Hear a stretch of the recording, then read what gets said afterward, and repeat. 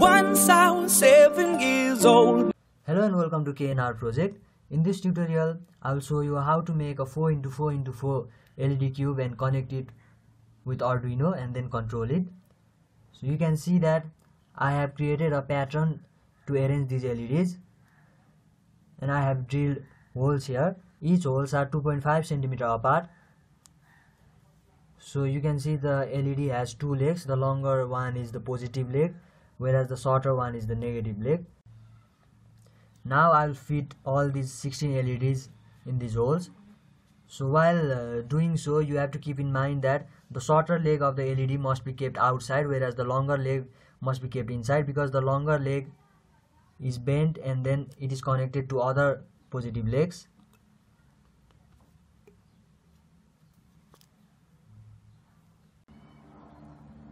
You can follow the directions that I have given here you can see that the arrow is pointing towards this side. So it means that the longer leg must be bent.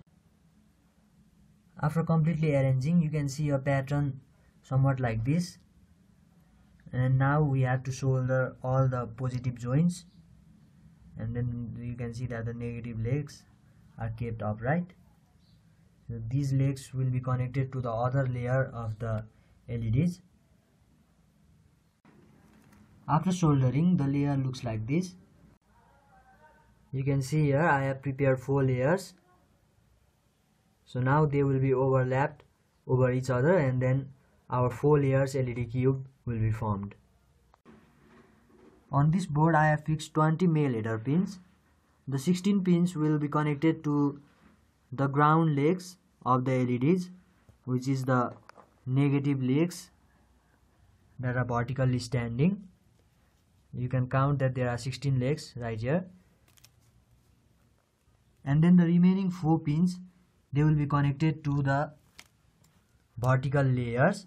This will be layer 1 and if I add another layer this will be layer 2 and similarly it goes up to 4 layers. And these pins will be connected to Arduino. You can see here I have soldered them into 20 different wires and these wires will be connected to the LEDs and then four resistors.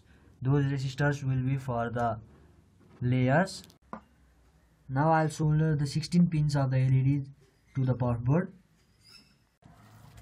16 pins has been connected to the legs of the LED and the four remaining pins they will be connected to the resistors and then to four layers.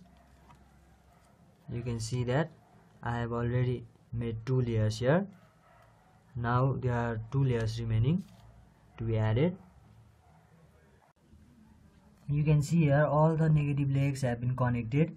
You can see that four layers of LED are there. One two three and four.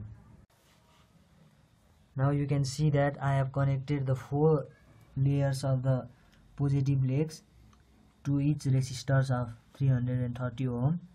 And then I have connected them to these pins these four pins respectively.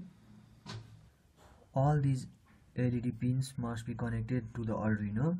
So from this side I'm going to connect it with pin number 0 pin number 1 pin number 2 pin number 3 and again the one here to pin number 5 and this one to pin number 6 7 8 and so on. And the positive layers the four positive layers must be connected from a0 to a3 you can see here i have already connected these all these layers and the negative legs to the arduino. So with this our setup is complete and now we'll have to upload the code and check whether our led works. So this is our code guys now I'll upload it to the Arduino.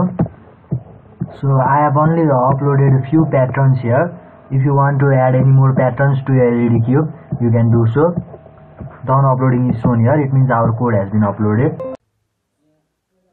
After uploading the code this is how our LED cube looks like. So I hope you guys enjoyed this video and learned something from it. If you like this video then please don't forget to like comment and subscribe thank you